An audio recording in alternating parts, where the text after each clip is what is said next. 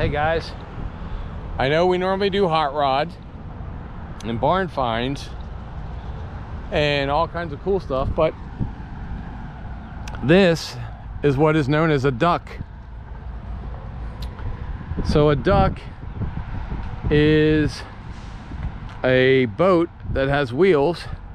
They were originally made for the Marine Corps and the Army in World War II.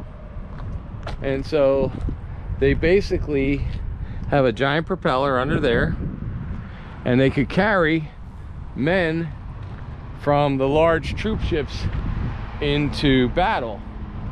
And that's why you see armor and metal and that's why you see the seat up there was where the pilot or driver would sit. And they were actually most of the time for the army they were actually controlled by the coast guard so if you were in the coast guard in world war ii you may have actually driven one of these. A lot of times now they'll use these for tourists and stuff around um, lakes and stuff and they bring supplies and they'll use them down in the Bahamas and stuff to uh, supply boats because you could drive right up on the land. But as you can see they fit a lot of people inside them. Now this one is just sitting here in a parking lot and you know here it can it can pull a trailer it can hook up to another one so they can pull themselves through rough waves. And here's hatches down into the motors and everything. But as you can see i mean they are pretty much made for battle. If you notice everything here is shielded with metal so that way if they were getting shot at from the front it would it would hit very thick metal and then they can also hook up and get pulled in. They can hook up to each other. And they can drive on land. And a lot of times the marines would use these on land uh, and they would travel just like a truck would a troop truck. So they would drive onto the islands and then use them as trucks once they were there. So uh, i just think it's a very cool thing. And we are at the classic auto mall. This is at the end of their parking lot so welcome to another episode of Junkyards and Barn Finds with Sean, and I'm Sean.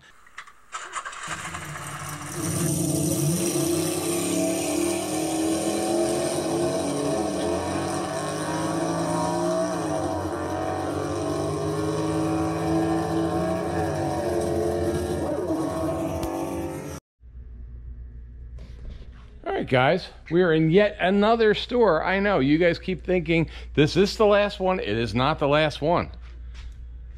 In fact, I think I'm in, caught in a, lot, a loop of muscle cars, a time loop of muscle cars. Every time I go to a store, it's another loop car. So I don't know.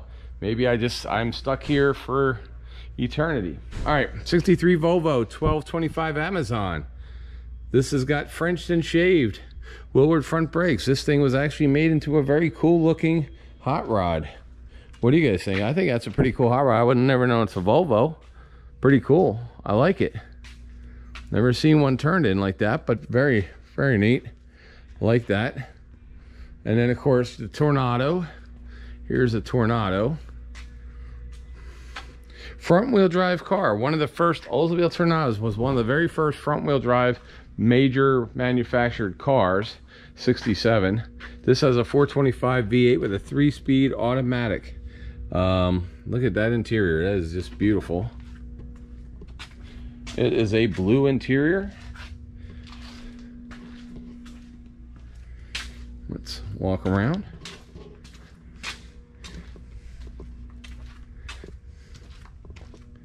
Let's see what's in here Look at that interior. That is like the day it came out of the showroom. Really nice. Really nice. Awesome. Okay. Let's continue. Guys, I'm not ignoring like Mustangs and the newer cars on purpose, but I kind of am because we could see these on the car shows. We could see these everyday driving. We can't see a Buick Skylark convertible that's hunter green with a brown interior doing that. So really nice car.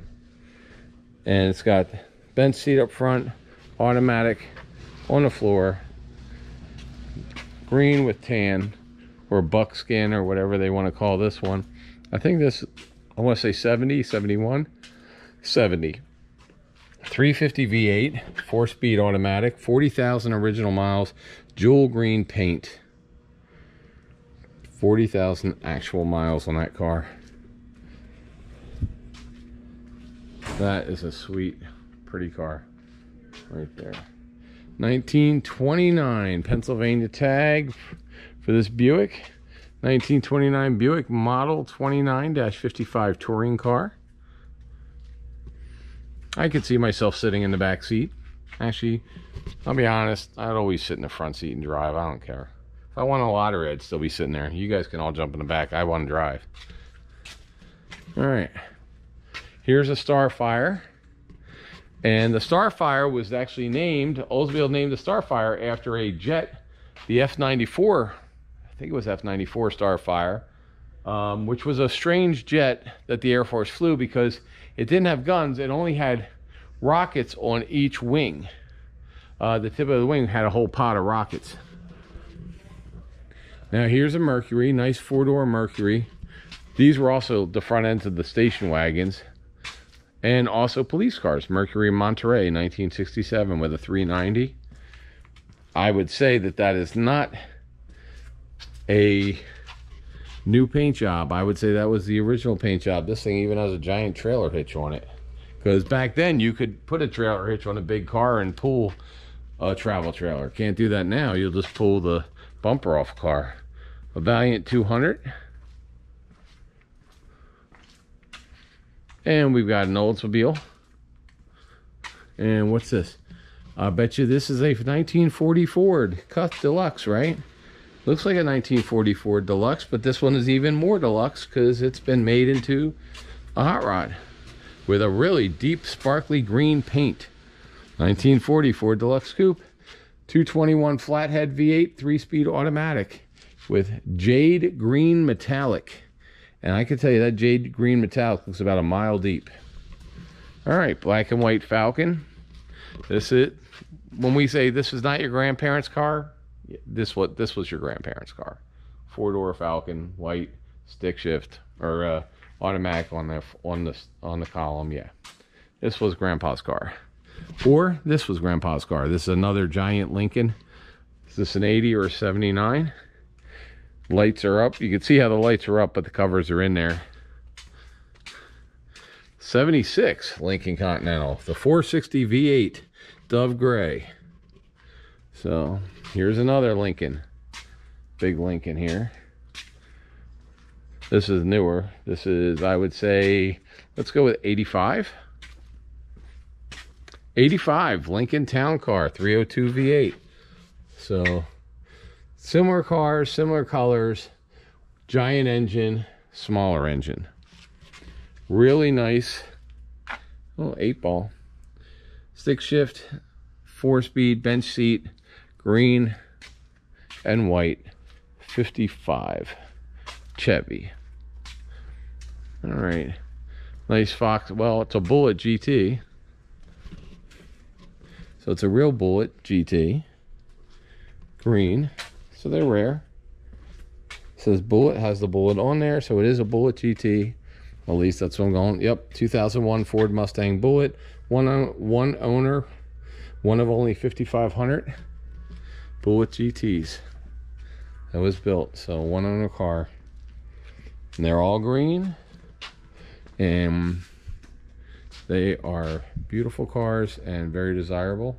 And then you have an anniversary Corvette. So the collector's edition. Again, we've seen one of these already here, 82 Corvette collector's edition. And the V8 the crossfire injection again had some issues with catching on fire, which is why they stopped using it. Firebird, and this is the Esprit. Esprit used to be one of the versions you could get with a Firebird. You could get the Formula, you could get the Trans Am, you could get the Esprit. Then you could also get the Esprit Turbo, actually, as well. 1979 Pontiac Firebird Esprit 231 V6. And this is a driver. It has not been restored. Very nice. All right, we're moving into this. This looks like trucks. We've got an El Camino here. Nice El Camino. 350 El Camino, so your standard. Not your SS, although it says SS. Is it an SS? Let's see. It doesn't say SS, but everything here says SS. 305 V8. Yeah, not this is 72. This was not an SS. We got a couple Jeeps here. Dennis Collins, if you're looking. There's a Willys. Here's a Rubicon. Here's a pro stock Dodge truck. Yep, pro stock. It's all ready to go. He's got all the painless uh, wiring. Everything else is in here. He's got some giant meats on the back. Roll cage. So, pretty nice truck. Let's see. Garage, Thornburg, PA. 64 Ford F100 Fleet side. Nice patina on this one.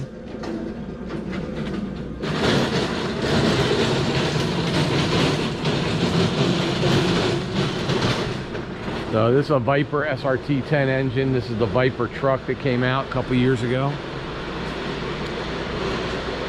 Pretty rare trucks, pretty crazy to drive absolutely nuts to hold on to. Oh, somebody bought the fire engine. Someone bought the fire truck. And this one's got the engine sticking through the hood. What's up with that? So, how you doing? Another old Willys Jeep right here. So, with tow bar on it. Grumpy's Toy, Bill Jenkins.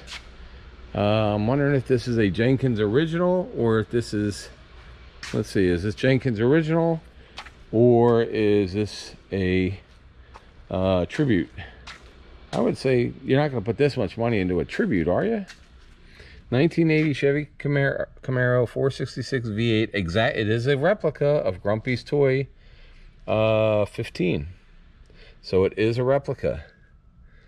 So it was not his but it is an exact replica and it would be fun to take the kids around the neighborhood in this. There you go.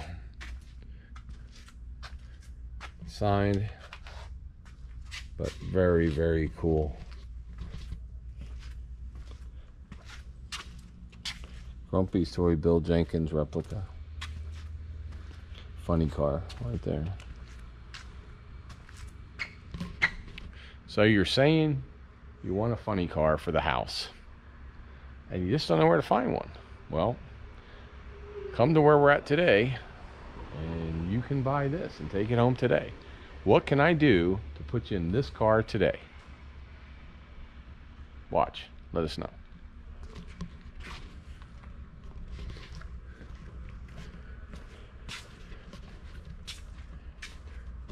All right, guys. So here's the thing. You're not really a straight line kind of guy. You kind of you like your turns, you like your curves, you you like turning left a lot. So if you like turning left a lot, you probably don't want a Grumpy's Toy replica. You don't want to just go straight, you want to drive around the neighborhood. Well, if you want to drive around the neighborhood and you live in a circle, why not get the Newman's Crown Royal car? This is available as well. You drive by yourself, but you can go around the world to the left to your heart's delight whenever you want. This is the 1996 Pontiac Firebird IROC race car. This is the real one. Now, when we were down in Kissimmee at the Mecum auction a couple years ago, they had a bunch of these for all, all the IROCs they were selling out. I don't know if that's where this came from, but uh, Ryan Newman's Crown Royal be a champion, drink responsibility, responsible. This is a really nice car and it's got all the safety features you want to drive around the neighborhood, except that you can't bring anybody with you. But very cool IROC car. It's the number 12. And if we take a look inside, it's got a 358 V8 four-speed um, bill of sale because this thing doesn't come with a title because it's a race car. Race cars don't have titles. It's IROC Penske built. Um, it's set up for the Daytona race. But it is a real true race car. It does not come with any kind of crew people or instructions. So if you buy it and you break it, well, that's your problem. But in the meantime, it does have a stoplight because IROCs had stoplights. So you at least get a one stoplight behind the driver. One brake light. Other than that, you're on your own. All right, we got nice monster Chevy truck there. A nice Ford F100 Custom here. A couple other trucks in here. Nice International. Nice F-150. A street legal Duramax diesel Hummer. And that's an, look, that's an H1, guys, not an H2. This is an H1. And it is a 2006 Hummer H1 Alpha. Now, problem is, and I don't know which state it is, but one of the states just outlawed all Hummers. And they mailed all the titles back to anybody with a Hummer, even the ones you could buy from a dealership. And I don't know what state that is, so check with whatever state it was. I saw it on, on the news last week. All right, 85 AMC Jeep CJ7. Dennis Collins, if you're watching, here's another one you might be interested in. Uh, Huey Truck Bodies from Lebanon, PA. What is this? Dump truck. Well, a Brockway. Remember I was saying Brockway? My cousin had a Brockway, and I always, the whole day the other day, I was talking when we were in that truck junkyard down in South Carolina, and I was saying, oh, I hope we find a Brockway. Well, we found a Brockway. So Matt, my cousin down in uh, Kissimmee, Matt Leibel, here's a Brockway for you. Pretty cool. Brockway dump truck. It's a lot smaller than the one your dad had for you because that was a full size, but this is a Brockway dump truck. Pretty cool. All right, we got a wrecker. This is a big old F1 something wrecker. Back when everything was hand cranks and wires. Square body GMC. Blacked out Ranchero. This looks like it was for speed because look at the wheels. I wonder if this was something that they ran to see how fast they could go in it. But if they did, they should have a cover on the bed, I would think. A big old delivery panel truck. A Diamond T. I remember Diamond T's. Fords. And uh, I don't know what this is. Oh, a Citroen. So these are from France when I lived over in Europe for a short time everybody had one of these. Now, this is pretty cool. And you don't see these much anymore because you might see the front, but you'll never see the back. So the Atlantic Refining Company, this is like an old 1950s gasoline kerosene motor oil truck. So this was a tractor trailer back in the day. This was a tanker and they could carry all three at the same time. So they would carry gasoline, kerosene, and motor oil and this would always go with this truck. So they kind of matched up. A Dodge RE31 truck. 241 cubic inches. Very nice Dodge truck. Pretty cool. You guys may even see some of these in toy stores and think, oh, that's a cute toy. But no, that's what they really look like. Super Duty Ford. A couple other pickup trucks here a custom camper 2350 the custom campers these things were awesome let's see we got a couple other pickup trucks back here we got a k5 is that a k5 blazer uh, another jeep we've got another big 4x4 chevy truck a couple of these older chevys another strip truck lowered truck back here. Let's take a quick look. 83 Chevy C10 teal with big tires and tubs in the back. And then here's a Pro Street. This is a 71, 69. I always want to say 70, but I always get burned when I say that. 71 Chevy C10 350 V8 chopped, shaved, and tubbed, custom interior. There's the interior. all set for taking to the strip. Really nice paint job. That's a really pretty looking truck.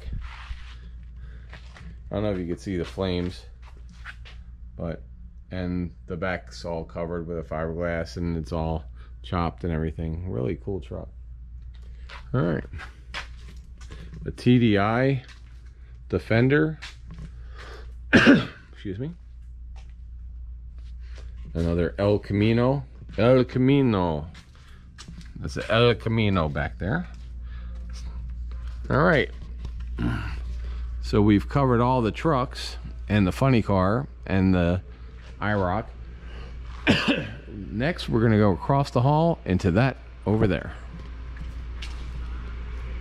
April, should they subscribe to this channel even if they don't like cars today for this one? Probably just for this one.